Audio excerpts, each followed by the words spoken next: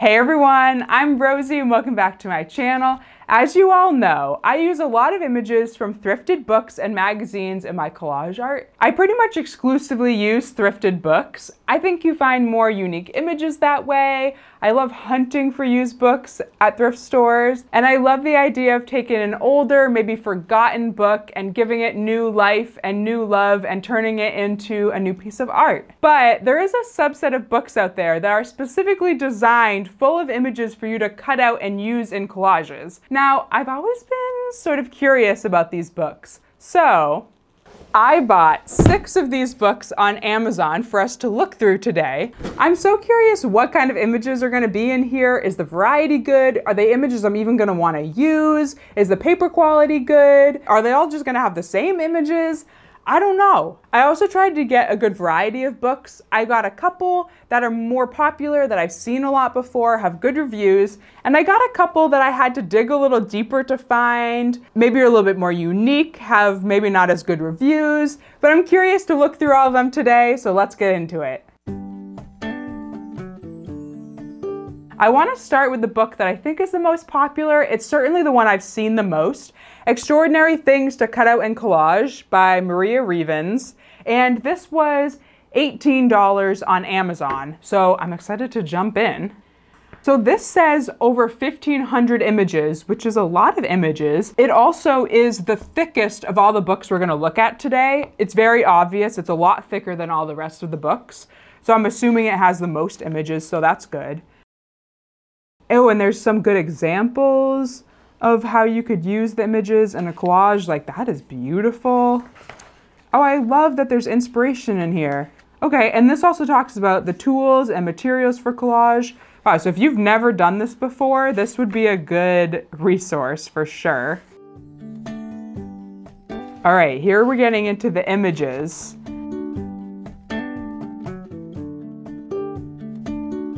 So far, there's so many images I'm seeing already that I want to collage with. I will say they're all a little bit on the smaller side. This is kind of the biggest two heads, and the people are all about the same size. I would say there's, you know, less variety in the size, but I think that's okay.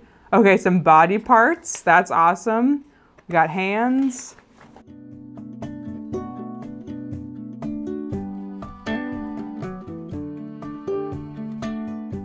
Ooh, that bathtub. oh, so good.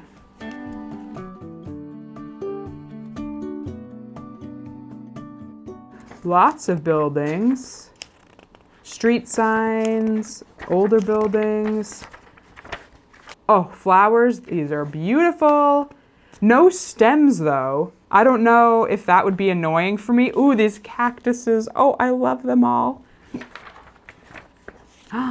Mushrooms. Oh, they're so good. I love them. I love them. oh, so good. The variety in this book is really surprisingly good. They have everything from animals, buildings, lots of people. So far, variety A+. plus. Oh, some beautiful butterflies and other insects. All of these beetles. Oh, the same feather over and over again. I guess you could do one big feather thing and you would want all these feathers. That is just like a little bit weird. Okay, a bunch of butterflies. Okay, the end of this is just the same thing over and over again, which would be good if you wanted to use this gem a lot as maybe a headpiece or something. You would want a lot of the same gem. Oh, a lot of big images in the back here. Things that you could, you could use as sort of a foundation for your collage and then use a lot of the little things around it. I do like that they include these in here because I was saying that I think the variety of the sizes throughout the rest of the book were all about the same. So having a couple really big things I think really adds to that variety. Oh, even a couple postcards. Those are really fun. Oh my God, I love this desert scene. I wanna use this like right now. wow, okay, honestly, pretty good selection. I'm very impressed. I think there's a lot of collages you could make with all of these.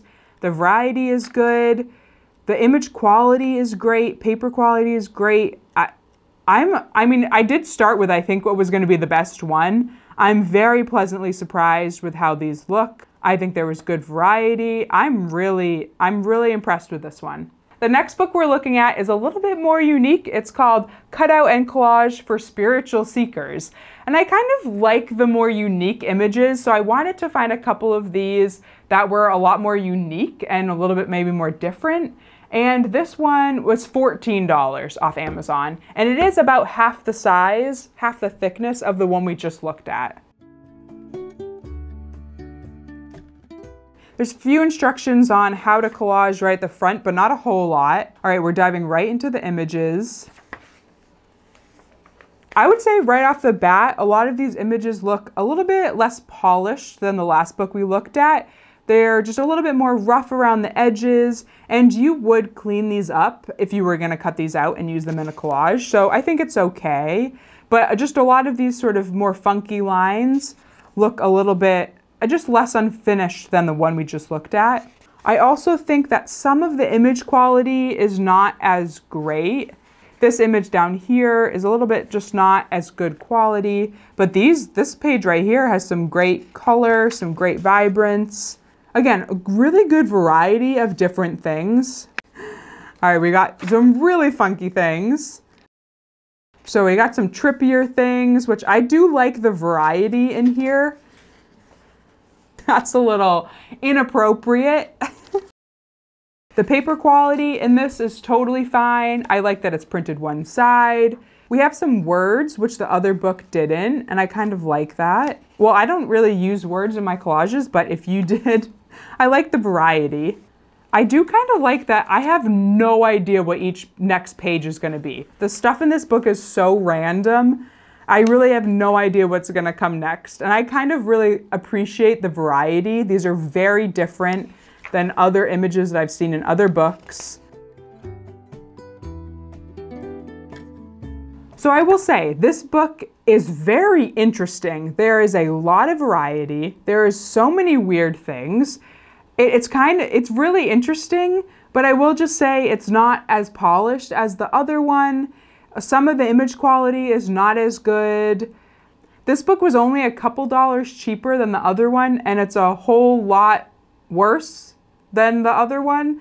But I do appreciate the very odd, very unique images that are in here. So I think there's some interesting things in this book, but I don't think it's the best buy. the next book we're gonna look at is probably the one I'm most excited for. The cutout and collage book, Vintage Botanical Plants. Are you kidding me? this book is $13 and I'm assuming I'm gonna want a collage with everything inside here. I hope these images are good. I'm really excited for this one. All right, so no intro, no nothing. This one goes just straight into it. But already we have some really great plants, a great mushroom, and they're one-sided. They have this fun pattern on the other side, which is kind of fun. So far, I'm digging these. This is vintage botanical plants. Yeah, they, oh, that pine cone, oh, that flower, oh. So far, this is exactly what I expected. I'm very pleased with everything that's in here. There's lots of mushrooms and I am so excited to use them. I will say I wish there were a couple like bigger flowers, but we're not all the way through yet. I would say there's a lot of leaves. Ooh, some big mushrooms. I'm digging that. There's a lot of leaves and smaller plants. I was kind of hoping maybe there'd be a couple bigger flowers. Like this. Okay, so there are a couple. But the mushrooms in here are good. These are really good.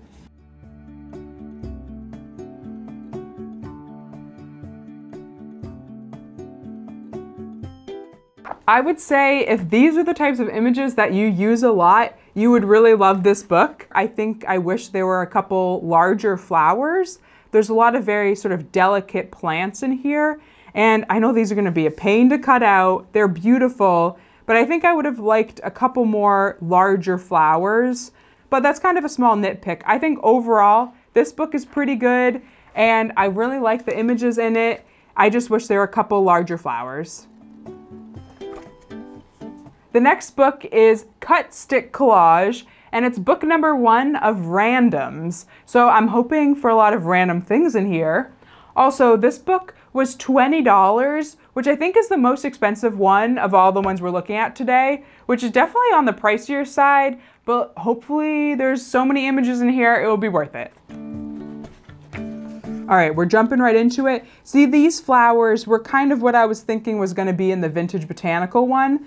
More, you know, flower heads. But again, no stems. I really like to use the stems of flowers, so I kind of wish they had left those, but that's okay. These are really beautiful flowers. Got some blue leaves, some generic garden things, some cactuses. It looks like a lot of these are sort of watercolors. Oh, these are cute. That little snail. That little snail buddy. some fish. These look like exactly the same fish of the first book we looked at. Some shells. Ooh, these keys. These keys are really interesting. We haven't seen keys yet. I'm into that. Oh, a lot of cats. Oh, they're cute. Some bigger things, I appreciate that. This page sort of shows a lot of the variety. So there's cartoon things, black and white sketches, some colorful things, some more silhouettes. This book has a lot of variety. I don't think everyone likes to use cartoon things in their collages. I don't I don't normally, but I do love these black and white skeleton heads.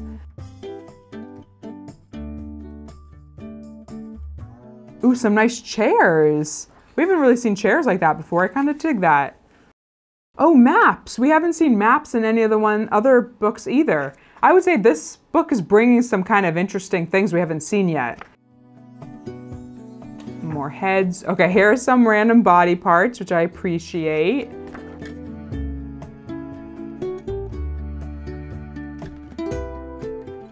Overall, I think the variety in this book is really good, and I think there's some interesting things that we haven't seen in any of the other books. The hats we haven't seen, the keys, I don't know if I'm gonna be able to find those again, but those were new. I think there's some good variety in here. I like the signs they have, some chairs. There's some fun things in this book. I was pleasantly surprised. From the cover, I was not expecting much from this book, but I think there's some interesting things in here. The price point, not as good. I will say $20 for this, I think is a little bit too much. But I do think there's some unique things in this book and I appreciate the flowers. So overall, pretty good. I like this one. The next book we're going to look at is probably the second most popular one of the ones we're going to look at today. It's called Cut and Collage, a treasury of bizarre and beautiful images for collage and mixed media artists. And if the images on the front are any indication of what the images inside are gonna be, I think this is gonna be a good one. And this book was $18, so right sort of in the middle of all the other books we've looked at. This one also comes with a download. I did not download it. Maybe I did, I, I don't really remember. Ooh, this first one, I love that. So this one does include a little bit of a tutorial, which I do think is helpful to include in one of these books. Oh, we're already into some weird medical things. These eyes are creepy. Wow, we got some weird surgical images. All right, we are off to a crazy start with this book, right into the medical images. These images are graphic. like, I don't know if I would ever use these these images like of this intestine. Like I don't know if I would ever want to use images like this. These diseased people, this is great. Now we're into more my speed flowers and leaves and botanical things and mushrooms. Ooh, these beetles are beautiful. Some vintage illustrations of animals. I think these are really nice. I love those.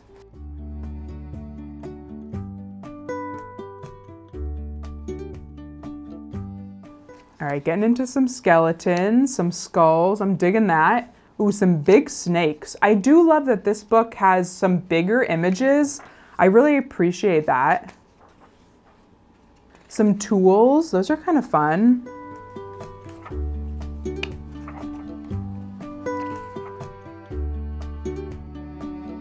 So the cover of this book doesn't really indicate that there are going to be a lot of medical illustrations in this book. It does say a treasury of bizarre and beautiful images. I really liked half the images in here. Really, really liked half of them. But then all of these sort of surgical images up at the front, I don't know who is using these in their collages. And I make some weird stuff, and I'm not even sure if I would want to use those.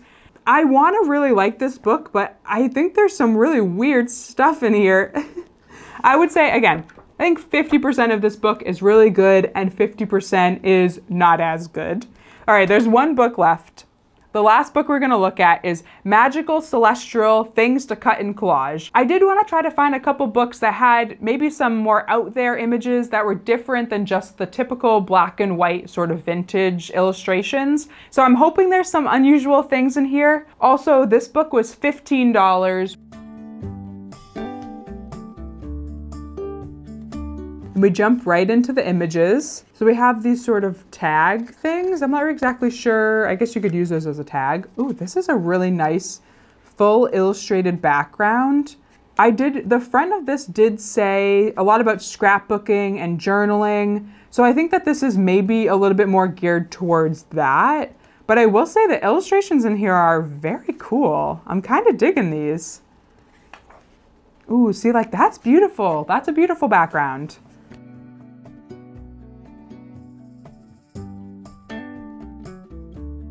Some cool patterns in here. Again, the illustrations are really beautiful. There's some unique things in here. I like it.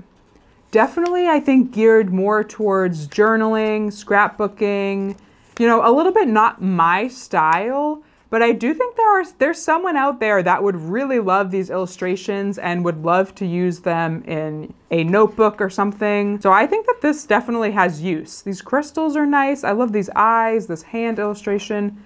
Some really beautiful stuff in here. Oh, like this eye pattern is really neat. This book is full of a lot of cool things. I don't think they're really things that I particularly would use in my collages, but again, I do think there's someone out there that would really love this style and it would fit perfectly into the things that they do. So I'm not hating on this one. I just think it's not particularly my style and it's not particularly things that I would use. Wow, some really, whoa! I guess I can't hold them all at the same time. Wow, some really interesting, Okay, GoPro, we know you're not there. Wow, what a fun group of books we got to look through today.